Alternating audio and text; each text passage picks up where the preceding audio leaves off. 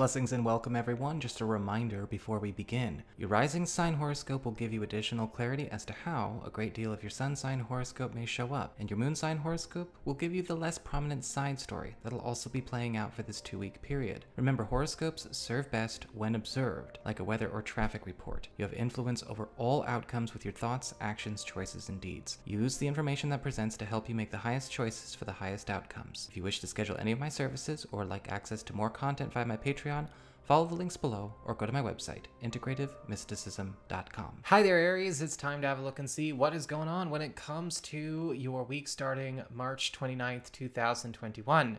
And we're actually doing two passes. That's what I've actually decided to switch it up to, to do two passes. So you get two, so a yes and, this and this, this and this kind of reading.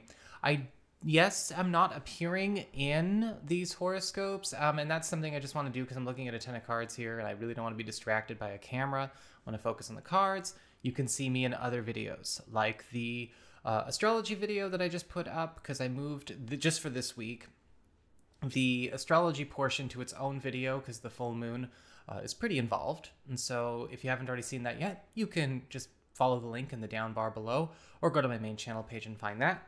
I've also got a new monthly elemental energy report for spiritual practitioners, and you can check that out as well.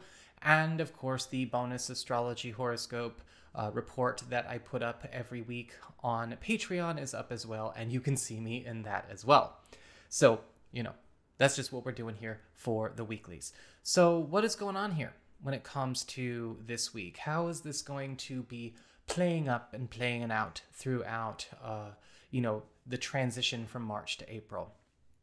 Well, for your spiritual themes, you have the Four of Pentacles and the Nine of Pentacles, both upright. And so this week is going to be all about getting things back under your control and into your care, while also paying attention to where things might be suffering due to entanglements, due to too many cooks in the kitchen, due to too many external energies involved in a lot of your goings on, paying attention to what's going on with your groups, with your teams, with your crew, as well as any kind of information or resource share that you may have going on. Where have things become too entangled for their own good, too involved for their own good? How do we turn that around? and fix that for ourselves. That's a big focus of this week. The other one is actually all about independent success the more you actually bring into yourself, call back to yourself, start taking care of yourself, the more and more and more you are actually going to start generating in terms of your own prosperity, your own abundance, your own acclaim, your own good fortune, because we actually are seeing a lot of big breaks showing up th- for you throughout this week, but you've got to be willing to actually go your own way and do it your own way and not necessarily rely so heavily on entanglements. Or if you're not relying on them, maybe not including them. Right? Sometimes we have to pay attention to where cross contamination of energy fields, cross contaminations of auras, intentions, behavior can actually create a stop in growth how do we get everyone's energy back where it belongs so that everyone can have the independent success they're already working for? As we get onto your material shifts, your work, your job, your finances, you've got the Ace of Swords upright and the Strength card upright. So you're actually going to be getting a lot of blessings when it comes to any financial, professional, you know, or maybe even practical priorities, even living situation priorities. Because with the Ace of Swords, you've actually got a green light this week. There is something getting greenlit, whether it is an application, a request, or possibly an opening that you didn't see a possible before. With the Ace of Swords, there is assistance, authorization, admission of, you know, all kinds of goodies that maybe you have either been seeking.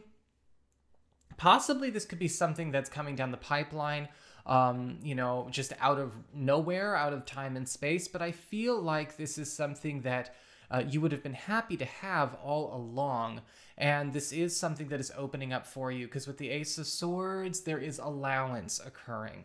As we get on to the Strength card, I'm also seeing a new consistent and a new consistent and a new stable source of revenue or source of material security, material support coming your way.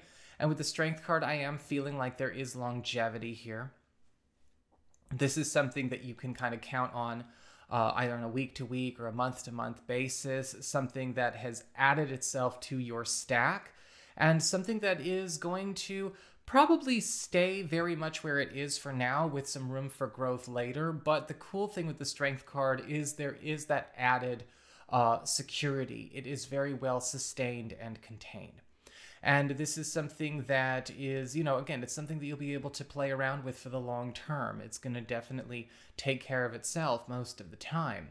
As we get on to your communications, community, friends, relatives, other people, well, you've got the Queen of Swords in reverse and the Emperor upright. And so this week, with the Queen of Swords reversed, I am seeing a confrontation, most likely coming up.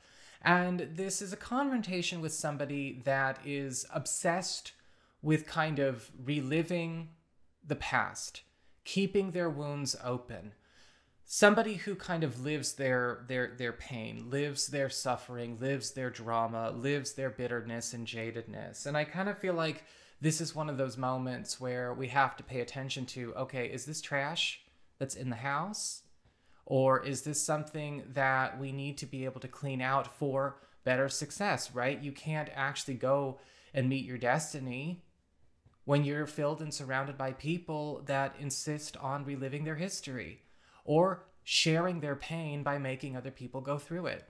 And you might have to draw a line in the sand. When it comes to the emperor, you're also, however, rising up in prominence, rising up in authority, rising up in leadership. People are starting to respect you more and give you a lot more authority, a lot more, maybe, I don't want to say control, but certainly a lot more power and influence over, um, you know, a friendship circle, a family unit, or maybe a crowd that you're involved in. And with the Emperor card, I'm also seeing a lot of people in positions of power actually giving their per- the perks of that power, sharing the perks of the power they have with you to secure further upward mobility in your life this week.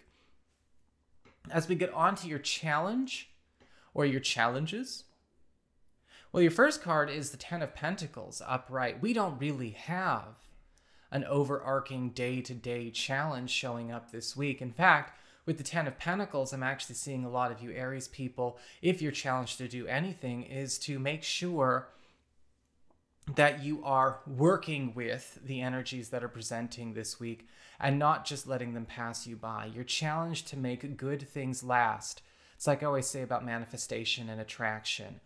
Any idiot can manifest or attract anything, but it really takes skill and understanding of vibration, alchemy, peace, and balance, you know, to make sure that you maintain it, right? It's about, it's not about just getting something. It's about knowing how to have it and keep it. And the Ten of Pentacles is indicating here, yeah, a lot of you are going to be put in a position where not only are you receiving a lot of good forth, good fortune and abundance, your only challenge is, is to make sure that you secure it so that it stays in your space, maintaining that harmony and that beauty and peace. As we get on to your challenge this week with the world reversed as that second challenge, you have something going on where you have old business to recover. I do not think it's bad old business. I think it's actually something that could be very positive, but maybe you don't necessarily think it's positive. Maybe it's something that you're a little bit concerned um, because it kind of takes you to a place or it reminds you of a time in your life that you don't want to go back to. Don't let the negative situation obscure, cloud, or color your perception of the positive uh, that we may have lost over that. You know, sometimes people are afraid to recover good things because they associate the good thing with the bad thing that happened after or the bad thing that took it away. Well, with the world card reversed, we have a chance to get back something that we lost so long as we're not afraid of recovering something from our past. You know, we can't run forever. There are treasures that belong to us that we may have left by the roadside. As we get on to your relationships with love, romance, partnerships, you have the Hierophant card in reverse. And it looks like a lot of you are actually getting a chance to do relationships, do romance a completely new way. Because with the Hierophant reversed, I'm seeing a lot of you single Aries people getting a chance to engage with a type of relationship or a type of person that you've never actually been able to jump in with both feet. Something that may be a bit foreign to you, something that may seem a bit experimental to you, but it shows a lot of promise. For those of you who are currently coupled, well, when it comes to the Hierophant card reversed, I see you guys changing up your entire relationship dynamic to be something that actually fits the both of you and all concerned. Because what's happening with the Hierophant card reversed is that we're breaking away from some kind of convention uh, that maybe has has been another unnecessary or unpleasant inclusion in this relationship, whether it's something that we kept trying to do that wasn't good for us, kind of like that full moon in Libra energy, or it was something that was imparted onto us, something we were trained to do, taught to do, expected to do, you know, tradition, family, peer pressure, yada, yada. Whatever it is, it can go.